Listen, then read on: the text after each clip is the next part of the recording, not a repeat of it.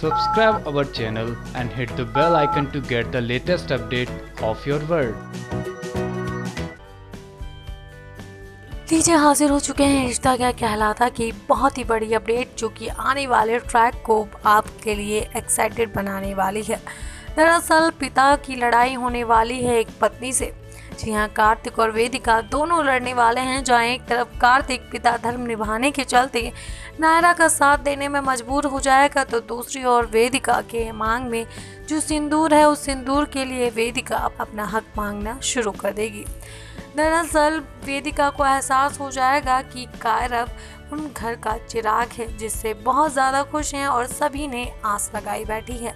और कहीं ना कहीं वेदिका को इनसिक्योरिटी आ जाएगी और इस इनसिक्योरिटी की वजह कार्तिक बनने वाला है, जहाँ कार्तिक वेदिका को पूरी तरह से भूल ही जाने वाला है जब नायरा और कारव होंगे साथ। और यही चीज़ नहीं बर्दाश्त हो पाएगी वेदिका को, जहाँ वेदिका कार्तिक को कह देगी कि मुझे मेरा हक चाहिए और वहाँ कार्तिक क्या करेगा?